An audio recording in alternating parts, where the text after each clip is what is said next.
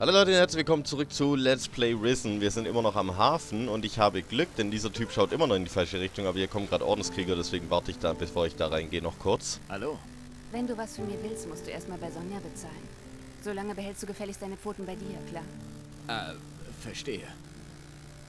Wer ist Sonja? Sag bloß, du kennst Sonja nicht. Was bist du denn für einer? Donna Sonja ist mein Boss. Ihr gehört das Bordell am westlichen Hafenkai. Ah ja. Okay. Ähm, oh, der Ordenskrieger schaut jetzt in meine Richtung, so ein Scheiß. Okay. Hier ist auch noch ein Dude, der Sergio heißt, der hat einen Namen. Das habe ich mir beinahe gedacht, weil ich mich daran erinnert habe, dass hier noch einer ist. Hallo. Ja, Du bewachst hier die Schiffe. ja, das auch. Unter anderem, sozusagen. Die Schiffe in diesem Hafen sind für jeden Langfinger in der Stadt eine leichte Beute. Nicht auszudenken, wenn sich hier jeder Hanswurst an der Ladung der Schiffe zu schaffen machen würde. Aus diesem Grund bin ich hier. Unter anderem. Du bist ein Ordenskrieger. Wer hat dir das gesagt? Dein scharfer Verstand nehme ich an, was? Nein, eher deine Rüstung, nehme ich an. Ja, ich bin Ordenskrieger der Heiligen Flamme. Das ist richtig. Schön, dass wir uns da einig sind. Hallo? Wie bist du Ordenskrieger geworden? Nun, das war Fügung des Schicksals, würde ich sagen. Der Inquisitor persönlich hat mich erwählt, ihm zur Seite zu stehen.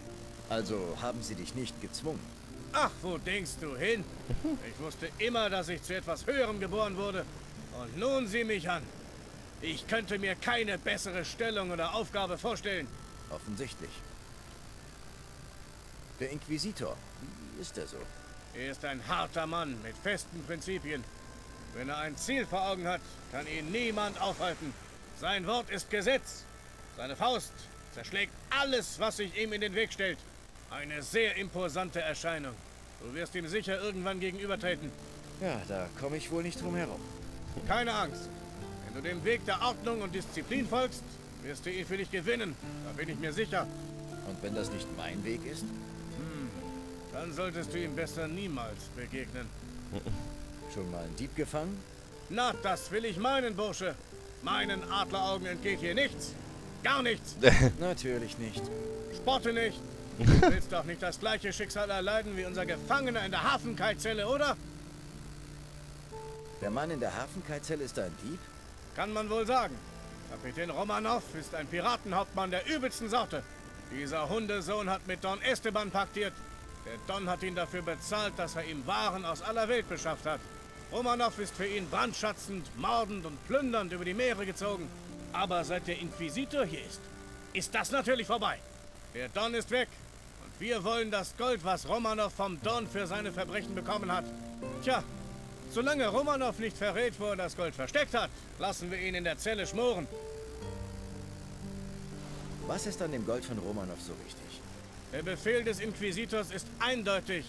Jeder Gegenstand aus Gold soll in die Vulkanfestung geliefert werden. Romanovs Gold stammt direkt von Don Esteban. Grund genug, um alles zu versuchen, da heranzukommen. Findest du nicht? Klar, macht Sinn. Vielleicht kann ich dir helfen, Romanovs Gold zu finden. Ha! Der Hundesohn wird auch dir nicht sagen, wo er es versteckt hält. Würde mich schon sehr wundern, wenn er so mir nichts, dir nichts seine Meinung ändert. Wir haben ihn hier am Hafenkai verhaftet, bevor er die Stadt verlassen konnte. Das Gold kann also nicht weit sein. Wenn ich bloß wüsste, wo. Ich werde Romanovs Gold für dich finden. Hm, sehr löblich von dir, Kleiner. Aber wieso glaubst du, dass gerade du es findest? Ha, das haben wir schon seit Tagen versucht. Ohne Erfolg. Naja, aber wenn du es tatsächlich schaffen solltest, werde ich dich natürlich dafür belohnen. Ah ja, Okay. Ähm, mal gucken, ob wir das auch tun. Ordenskrieger sind sehr geizig, wie wir bereits mitgekriegt haben. Ähm, ja, da gehen wir nachher auf dem Rückweg hin, wo ich vorhabe, noch hinzugehen. Äh, was war das jetzt? Nein, warte, nicht runterfallen. Okay, ich wollte da auf das Schiff, aber irgendwie hat es sich sehr komisch gewehrt. Okay, wir sind auf dem Schiff. Hat der Typ nicht gesagt, hier darf niemand drauf? So, schon habe ich was geklaut. Das juckt dir nicht. Toll. Schön, dass du die Schiffe bewachst und ich mir trotzdem Stuff holen kann. So. Da hinten ist also die Hafenkai-Zelle, wo Romanov rumsitzt. Okay, dann mal kurz speichern, bevor ich hier weiterlaufe. Und da steht schon eine Wache vor der Tür. Hey du, Was lungerst du hier herum? Dick. Hier hat keiner was zu suchen. Hm. Toll. Äh. Windows Update schon wieder? Ich Geil. wusste nicht, dass es verboten ist, hierher zu kommen. Erzähl keinen Unsinn, du Schwachkopf. Was glaubst du, warum ich hier Wache halte? Moment kurz. Ich muss hier ganz kurz schneiden. Ich weiß ja nicht, für wen Windows sich hält, dass es mir hier Updates während dem Let's Play reinballert, aber kann ich mal kreuzweise eh. So, komm, hier. Was genau bewachst du hier? Das würdest du wohl gerne wissen, was? Pass bloß auf. In dieser Zelle dort sitzt Kapitän Romanov. Einer der gefährlichsten Piraten der Meere. Ist nicht wahr. Ja, seine Pfeife wie dich frisst er zum Frühstück. Was ist mit Romanows Mannschaft? Ich denke, seine Leute lungern irgendwo in der Hafenstadt rum und lassen es sich gut gehen. Tja, Matrose müsste man sein. Warum bringen die Weißen Romanov nicht in die Vulkanfestung wie alle anderen? Tja, das fragst du den falschen Kumpel. Mir erzählen die Weißen nur so viel, wie ich wissen muss. Und wenn ich ehrlich bin, interessiert es mich auch nicht. Ich will mit Romanov sprechen. du machst mir Spaß. Das kannst du vergessen. Der Zellenschlüssel bleibt schön in meiner Tasche. Was willst du haben? Jeder andere Arsch der Stadtwachen amüsiert sich abends in den Kneipen. Oder geht in Sonjas Bordell. Aber ich darf meinen Posten hier nicht verlassen. Ich stehe hier draußen schon seit Tagen bei Wind und Wetter, wie so ein gepeinigter Köter. Das geht mir ganz schön gegen den Strich, das kann ich dir sagen. Wenn sich wenigstens eins der Freudenmädchen hier draußen mal sehen lassen würde. Ich werde dir eins von Sonjas Freudenmädchen hierher schicken. Dafür lässt du mich mit Romanov sprechen. Na gut, abgemacht. Beeil dich aber damit. Sonst setze ich hier noch Moos an. Und weh, sie ist schäbig wie die Nacht. Da wird nichts aus unserem Geschäft, klar? Ich lasse mir damit Zeit, Bruder. so, ich schaue mich hier noch ein bisschen um. Ich darf halt nicht an die Tür, beziehungsweise es bringt auch nichts an die Tür zu gehen, weil er den Zellenschlüssel hat. Hier kann ich noch rumlaufen, da ist aber auch absolut gar nichts. Und da unten scheint auch nichts zu sein. Okay, dann gehen wir jetzt noch mal kurz ins Lagerhaus und gucken, ob ich vielleicht doch noch was ausnehmen kann, ohne dass mich dieser Oger da belästigt. Und da ist auch noch, also das war im letzten Part, falls ihr euch wundert, das, da ist auch noch Romanos Truhe, für die ich Stufe 3 Schlösser knacken brauche. Das werde ich früher oder später eh mal irgendwann upgraden müssen. Außerdem gibt es ja noch Taschendiebstahl, das habe ich mir auch überlegt, ob ich das hole. Ich weiß gar nicht, ob ich das schon mal geholt habe. Aber egal, jetzt müssen wir erstmal kurz hier durch. Und irgendwie gucken, dass wir von dem Oger nicht gesehen werden. Das ist gar nicht so einfach, weil der steht da echt scheiße. Und ich glaube, er steht da so ziemlich immer. Und ich weiß nicht ganz, ob man den irgendwie wegschicken kann. Und ich weiß auch nicht, ob es sich so wirklich lohnt. Muss, ich glaube, ich muss hier hoch, ne? Wow. Ja, dann halt so. Hör doch auf. Spring doch einfach. Mann, macht hier irgendwelche Spr Zeitsprint-Dinger. War das hier der richtige Weg? Ich glaube, hier war... Ja, da geht's durch. Da wollen wir raus und dann kommen wir zu dem offenen Fenster und kommen ins andere Lagerhaus, beziehungsweise die andere Seite. Von wo aus ich an die Items kommen könnte, wo der Oger bewacht. Mal sehen, ob das klappt. Und wenn wir das haben, können wir weiter uns im Hafen umsehen. Das wird schon noch eine Weile gehen, bis wir alles durch haben. So, da ist zum Beispiel eine Truhe. Autsch. Okay. Die Truhe können wir offensichtlich öffnen. Jawohl. Und bekommen ein bisschen Stuff, das ich nicht unbedingt brauche. Jetzt ist die Frage, komme ich an diesen Schrank da hinten ran? Und genau das ist das eins...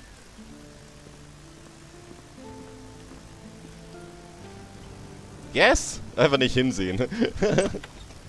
okay, jetzt haben wir hier alles ausgenommen, außer Romanos Truhe. Und die können wir auch noch ganz schnell holen, sobald wir das können. Hallo! okay, alles klar. Dann machen wir jetzt weiter. Wir müssten jetzt noch bei den Treppen, nach den Treppen nach rechts abbiegen, damit wir hier alles kennen. Übrigens, letztes Mal haben wir Sid und seine Freundin hier getroffen. Moment, da kann ich jetzt rein. Ich will die Möhre haben, die er da rumliegen hat. Äh, Messer, wie auch immer. Stuff halt. Und nochmal von vorne. Scheiße, ich muss mich hier beeilen. Ich krieg hier garantiert gleich Stress. Ich sag's euch. Wenigstens Dietrich gefunden. Als ob die nicht merkt, wenn ich den Schrank hier jetzt... be- bediene. Du mieser kleiner Dieb. War klar. Okay, da kann ich nicht ran. Aua. Was willst du hier? Äh, ich prügel mich mit deiner Freundin. Ein Oder eher sie verprügelt mich. Jetzt hat er es auch gerafft. Okay, also diesen Schrank darf ich nicht berühren, alles andere schon. Und da Sid die ganze Zeit wach ist, wie zum Fick soll ich an diesen Schrank rankommen? Außer Sid verschwindet irgendwann. Da müsste ich aber den Ordenskriegern äh, helfen, glaube ich. Oder es kann auch sein, dass er auch in jedem Fall äh, irgendwo anders hingeht, sobald ich die Quest für ihn erledigt habe und so. Hallo. Ja? Was, Blub, was guckst du so? Einfach da drin speichern und plötzlich gibt's Stress. So, okay. Wir gehen weiter. Wir können jetzt in diese Richtung gehen. Links haben wir alles erledigt. Hier ist... Ja, genau. Hier sitzt noch jemand. Den habe ich letztes Mal schon gesehen. Ähm, habe ich auch noch nicht angesprochen. Der macht Musik. Probleme haben wir alle. Der bringt mir gar nichts. Aber hier ist eine Schatztruhe. Ich hoffe, äh, der meckert nicht rum, wenn ich die klau. Ich klau nicht die ganze Truhe, aber ich... Das Schloss ist zu Oh, okay, diese Schatztruhen brauchen alle Stufe 3, die, die so aussehen. Na gut, irgendwann haben wir das auch. So, du bist dieser Rodriguez, ne? Hallo. Peter, Fremder. Wenn du Fleisch haben willst, musst du dafür bezahlen. Wenn du kein Gold besitzt, Meister Belschwur verteilt einen Topf an die Armen. Was ist deine Aufgabe? Ich bewache das Schlachthaus. Das Fleisch der Kühe ist unsere härteste Währung. Also komm nicht auf dumme Ideen. Wir bewachen es mit der gleichen Sorgfalt wie die Artefakte. Auch wenn wir nicht alle Einbrüche in der Stadt verhindern können. Gibt es viele Einbrüche? Erst vor kurzem wurden drei Häuser ausgeraubt. Aber mittlerweile noch Was mehr. habt ihr unternommen? Wir versuchen, die Banditen im Auge zu behalten. Machen wir uns nichts vor. Sid steckt hinter den Einbrüchen. Du weißt, dass Sid hinter den Einbrüchen steckt. Es scheint offensichtlich. Nur leider kann ich es ihm nicht nachweisen. Woher willst du dann wissen, dass er es war? Ich kenne ihn. Er ist ein Bandit. Hm. Woher kennst du Sid? Von früher. Ich gehörte mal zur Bande des Don. Aber in der Festung habe ich erkannt, dass der Weg der Banditen falsch ist. Jetzt kämpfe ich für die Gerechtigkeit und für Inquisitor Mendoza. Was hast du jetzt vor? Ich will, dass die Einbrüche untersucht werden. Aber ich werde die Fleischerei nicht unbewacht lassen. Deshalb brauche ich einen tüchtigen Mann. Was ist mit dir?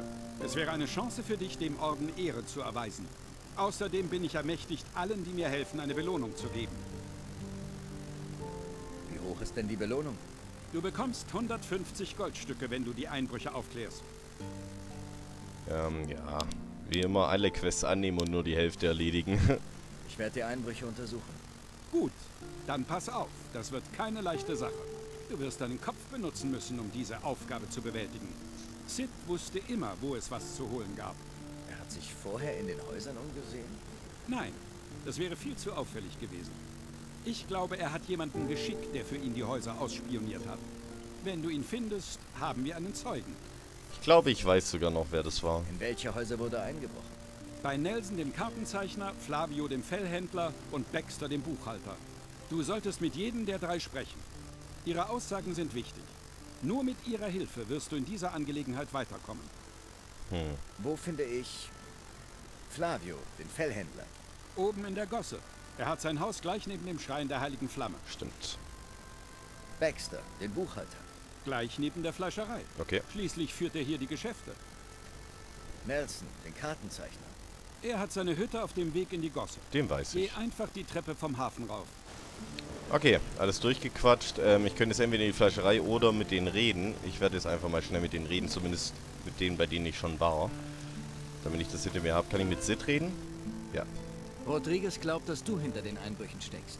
Dann kann ich nur hoffen, dass er niemals einen Beweis dafür findet. Oder einen Zeugen. Rodriguez glaubt, dass du einen Spion hast, der für dich die Häuser auskundschaftet. So, so.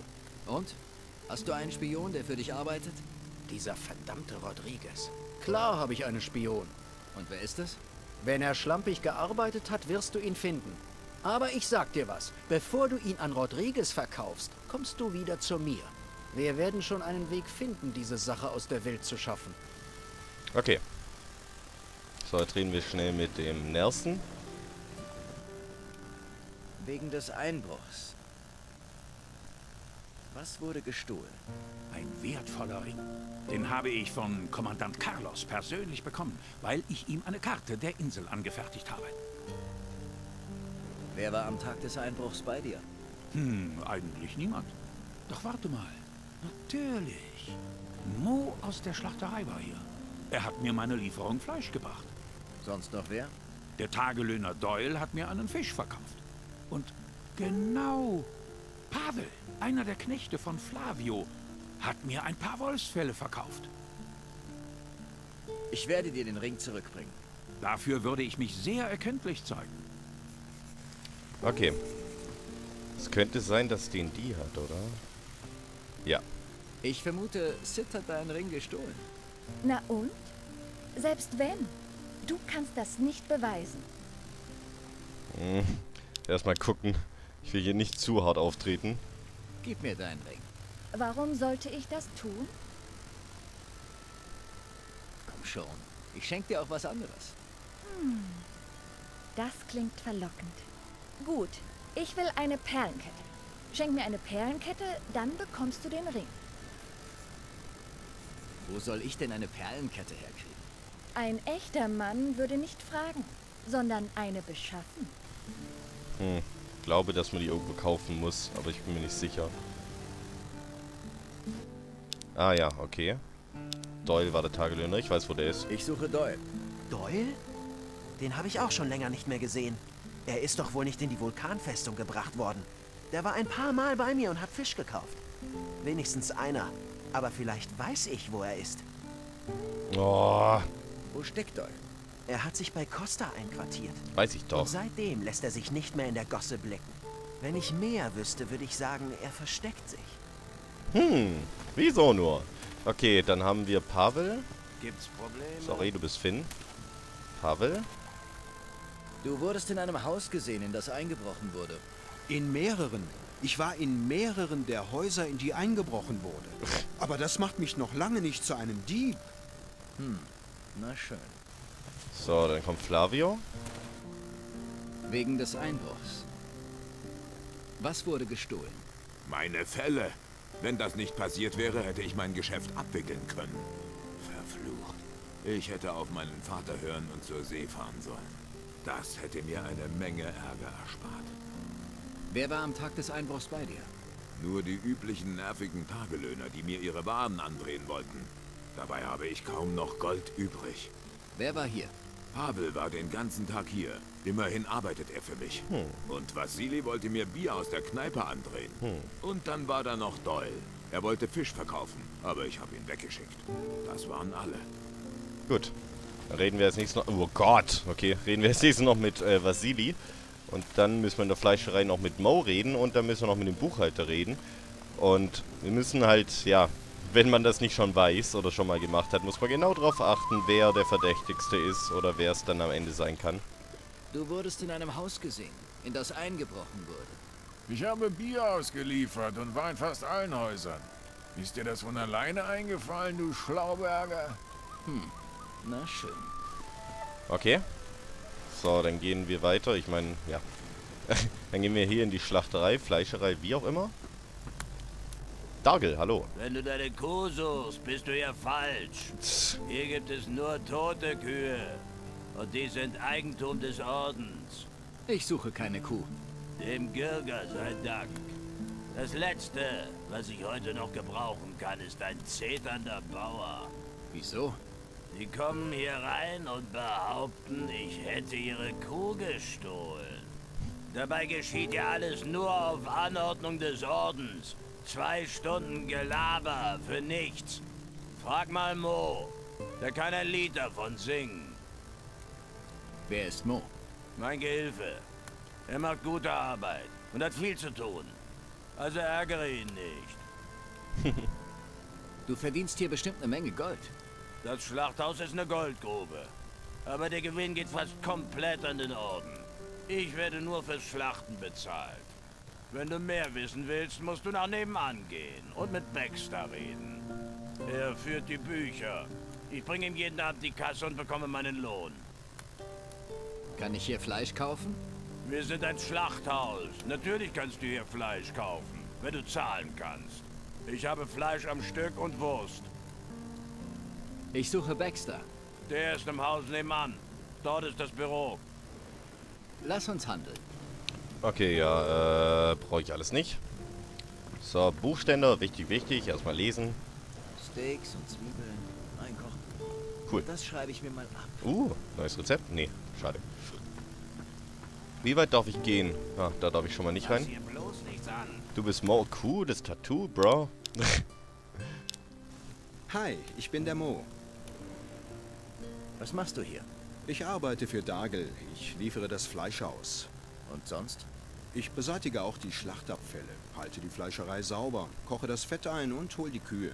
Ich habe einen ziemlich langen Tag, also wenn du nichts Bestimmtes willst, lass mich arbeiten. Hm. Dagel hat von Bauern erzählt, die hierher kommen. Ja, manchmal. Machen meistens ein Riesentheater. Aber was sollen wir machen? Wir müssen die Kühe schlachten. Ich versuche mich da immer rauszuhalten. Ich habe genug zu tun. Habt ihr noch ein paar Fälle? Ja, ein paar alte Fälle habe ich noch. Hier, du kannst sie haben. Sag mal, ah. du brauchst die doch nicht für Baxter, oder? Ja, eigentlich schon. Na, das gefällt mir. Die Fälle gehörten eh schon Baxter. Aber das muss er ja nicht erfahren. Hau schon ab. Was weißt du über die Einbrüche? Hey, mir ist schon klar, was du denkst.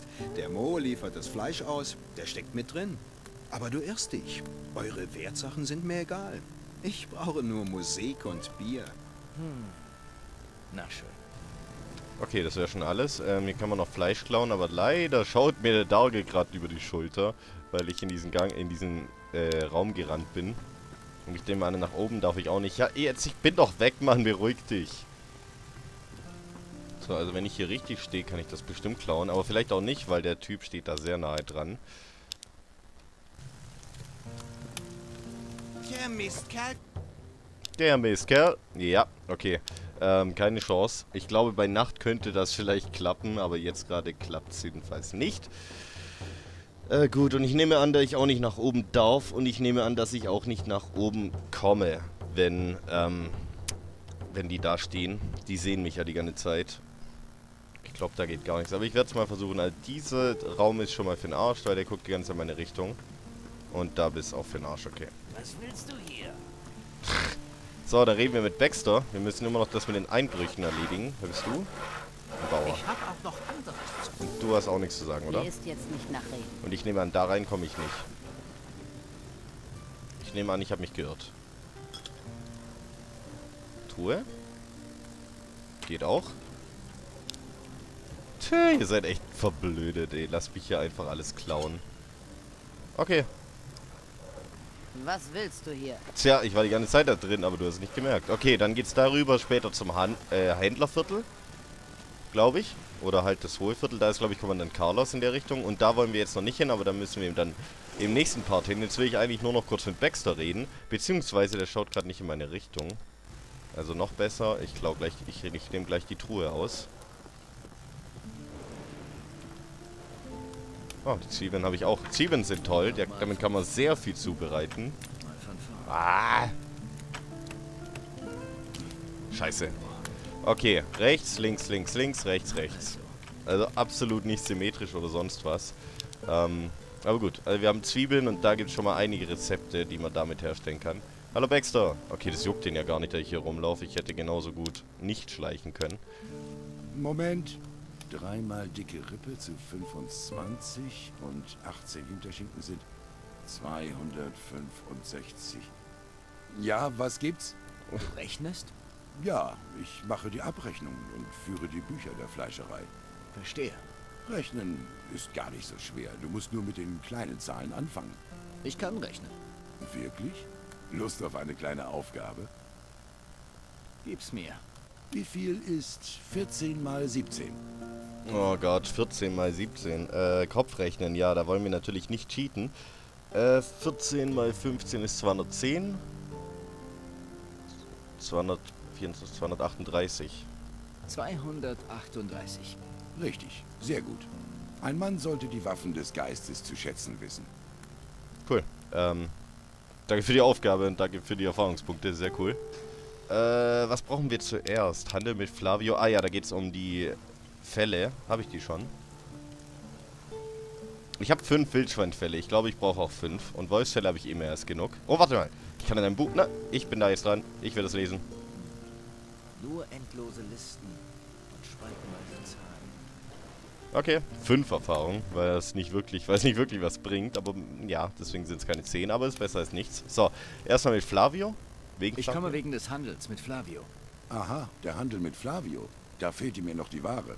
Das sind insgesamt zehn Fälle. Fünf Wolfs- und äh, fünf Keilerfälle.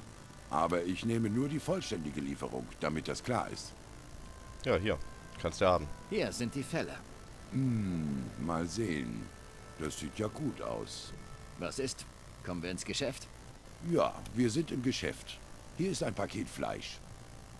Sehr gut. Wegen des Einbruchs. Was wurde gestohlen? Was wohl? Das Gold natürlich. Das Gold, das die Leute bezahlen, damit sie Fleisch bekommen. Das Gold gehört dem Orden. Und jetzt ist es weg. Und wie viel war das? Alles. Und wie viel genau, weiß ich nicht. Ich wollte gerade die Abrechnung machen, als ich den Diebstahl bemerkt habe. Wer war am Tag des Einbruchs im Haus? Dieser bekloppte Doyle wollte mir Fisch verkaufen. Er arbeitet wohl für den Fischhändler. Aber ich stehe nicht auf Fisch. Also habe ich ihn fortgejagt. Und der dicke Vasili hat Bier gebracht. Das habe ich bezahlt. Dafür habe ich ihm ein paar Stücke Fleisch gegeben. Und Mo war natürlich ein paar Mal hier. Aber das ist nicht ungewöhnlich. Schließlich arbeitet er hier. So, und jetzt haben wir genug Informationen, um genau zu wissen, wer es war. Ich springe erstmal gegen die Wand. Und falls ihr es noch nicht wisst, dann werden wir das auf jeden Fall in diesem Part noch erledigen. Was müssen wir noch machen? Das Fleisch auch noch abliefern. Und dann können wir im nächsten Part weitermachen. Dann haben wir nur noch das Bordell hier in dem Hafenbereich, glaube ich. Und dann können wir ins Händlerviertel. Also geht ratzfatz nach und nach so. Was ist mit den Fällen von Flavio? Was soll damit sein?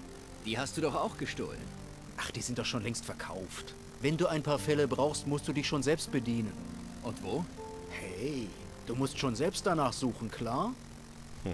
okay, ähm, was passiert, wenn ich sage, ich kenne deinen Spion? Ich kenne deinen Spion. Hast du ihn auch schon gefunden und mit ihm gesprochen? Bisher noch nicht. Dann solltest du das tun. Richtig. Hast du keinen anderen, den du voll quatschen kannst? Ähm, aber erst gebe ich, glaube ich, das Fleisch ab. Und dann machen wir das noch schnell, dann haben wir das auch erledigt. Was ist los? Muss ich dir das Fleisch geben oder muss ich das Pavel geben? Ich glaube Belschwur, oder? Äh, Flavio. Äh, Moment, wem muss ich das geben? Ich habe das Fleisch besorgt. Gut, ah. dann bringe es zu Meister Belschwur. Bring nicht mal Erfahrung, ihm das zu sagen. Ich bringe dir Fleisch. So? Im Auftrag von Flavio. Daraus kannst du einen leckeren Eintopf machen. Ah, sehr gut. Das kann ich wirklich gut gebrauchen. Ich danke dir, mein Sohn. So, jetzt gehen wir zum Spion. Und dann hätten wir vorerst alles erledigt. Und danach, ja, habe ich ja schon gesagt, was wir als nächstes vorhaben. Okay. Was zum... Äh, keine Absicht. Ich bin aus Versehen wieder aufs Dach gehüpft. okay. Da liegt er auch schon. Der war sowieso ein bisschen äh, seltsam, ne? Kann das nicht noch warten? Nope. Du wurdest in einem Haus gesehen, in das eingebrochen wurde.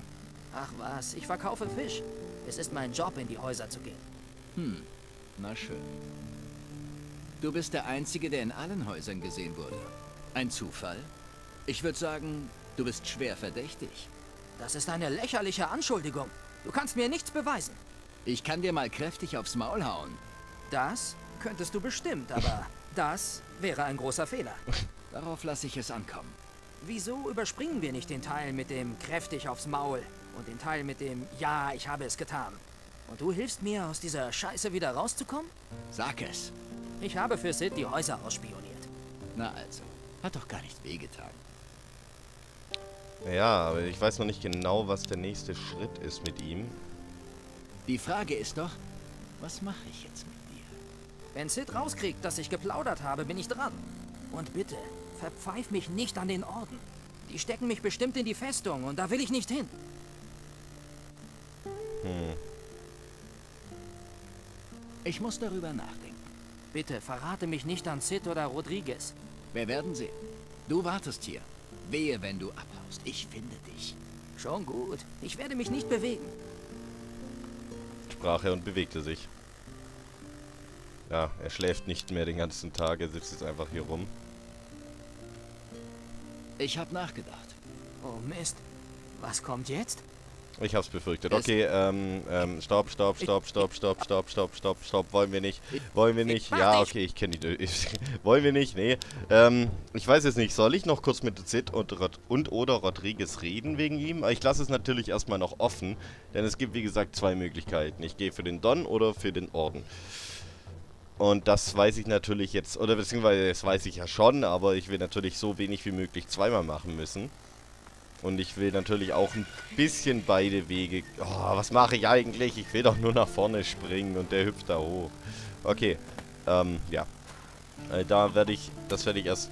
Wieso habe ich mich jetzt selber unterbrochen? Ich werde das erst ganz, wenn ich alles gemacht habe, ähm, in die Wege leiten. Kann ich dem hier aber jetzt Bescheid sagen? Ich habe da einen Spion gefunden. Es ist Doyle. Er hat zu viele Spuren hinterlassen. Das ist schlecht. Ich hatte bessere Arbeit von ihm erwartet. Was hast du jetzt mit ihm vor? Er kann mir gefährlich werden. Ich sehe keine andere Möglichkeit, als dass er verschwindet. Für immer. Du wirst das übernehmen. Wie du es anstellst, ist mir egal. Aber lass dich nicht dabei erwischen. Okay. So, Doyle muss verschwinden. Und das heißt, wir haben jetzt die Wahl, irgendwie Doyle loszuwerden. Mal sehen, ob Rodriguez noch was dazu sagt. Ich habe den Spion gefunden. Und Sid hat ihn beauftragt, richtig?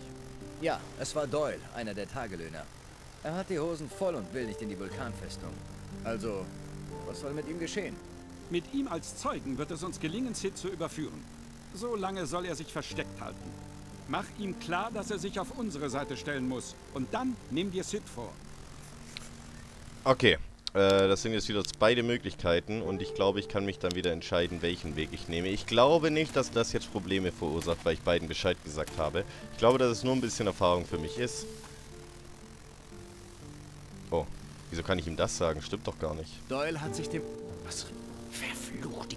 Was Okay, äh, wie ihr seht, links steht jetzt ein Viertel für den Orden. Oder, nee, nicht ein Viertel. Eins von vier für den Orden. Das heißt, wir haben eine von vier möglichen Quests abgeschlossen, wo wir für den Orden sind statt für Don. Also es gibt jedes Mal, wenn ich eine dieser Quests abschließe, wo es zwei verschiedene Möglichkeiten gibt, gibt es immer ein Eins von vier. Und das heißt, es gibt nur vier Quests, bei denen ich aufpassen muss, welchen Weg ich gehe. Und bei allen anderen Quests ähm, sind die so abschließbar. Das heißt, wenn keiner von denen die Goldschalen will und ich die jetzt dem Dude gebe, der da vom Lagerhaus steht und der dann, ähm, und da dann links nicht dran steht, eins von vier für den Orden, dann ist das keine Quest, die ich einem Don-Typ, einem Banditen geben kann, sondern dann kann ich die nur ihm geben. Nur mal als Beispiel. Also es gibt ein paar Quests, bei denen das egal ist, oder halt, ja, bei denen das nicht passiert dass man sich einer Seite anschließt oder für eine Seite entscheidet. Jetzt gucke ich mal, was passiert, wenn ich mit Doyle rede. Okay, noch gar nichts. Ähm, gut, das heißt, wenn ich jetzt sage für den Orden oder für Don, das müsste ich, glaube ich, jetzt entscheiden, äh, dann habe ich den Weg eingeschlagen. Das wollen wir natürlich nicht, aber dieser Part ist jetzt länger als geplant, weil ich das mit diesen Einbrüchen noch erledigen will, wollte. Beim nächsten Mal laden wir aber nicht den hier, sondern diesen Spielstand und machen uns auf ins Bordell. Aber das wird das im nächsten Part. Ich gucke jetzt kurz, ob es so ist, wie ich, Ich denke. Ja, ich kann nur diesen Weg nehmen. Und das heißt, ähm, wir beenden das, diesen Part einfach an dieser Stelle mit einem Gespräch. Und ich sag mal, wir sehen uns dann beim nächsten Part. Macht's gut und bis dann. Ciao.